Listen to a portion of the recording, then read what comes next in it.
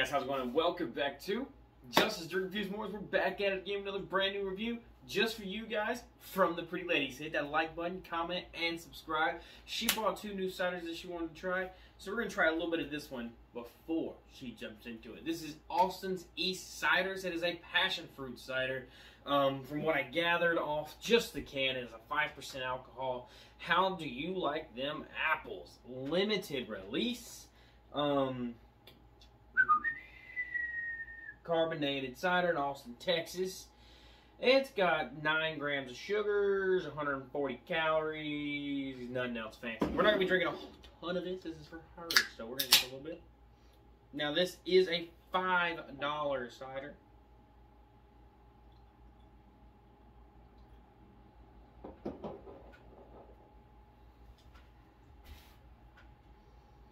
Ooh.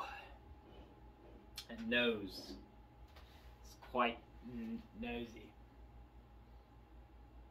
Kind of tart. Kind of like a, almost like a honeydew smell. But really sweet. Kind of nice yellow color to it. It does look very carbonated. It's very bubbly. Okay. Cheers.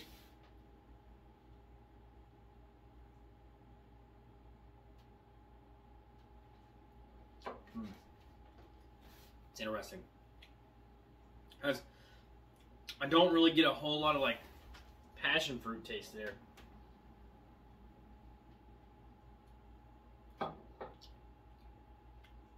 It kind of just tastes like a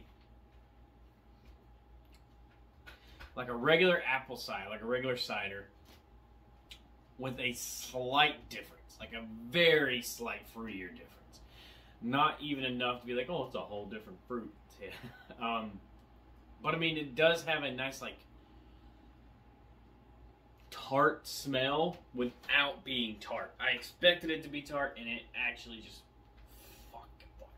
Um, I thought it was going to be tart because of the smell, but it's more juiced, um, more sweet, more flavorful. Um, it doesn't have any dry notes to it, which I really like that too. I do like a dry drink sometimes, but to have something that's really sweet and also comes in with a great flavor is also really, really nice. Um, but it's just got a weird consistency, almost like a like a pineapple juice.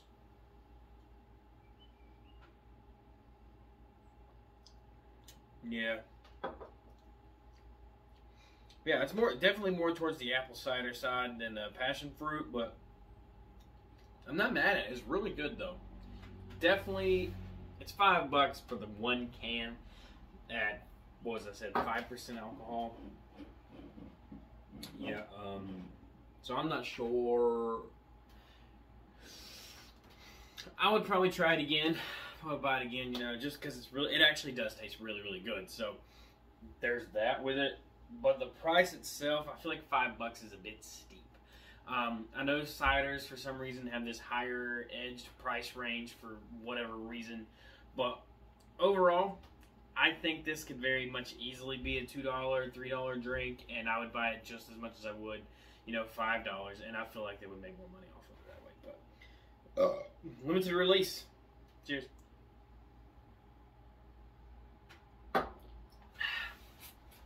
Honestly, doesn't even taste like alcohol.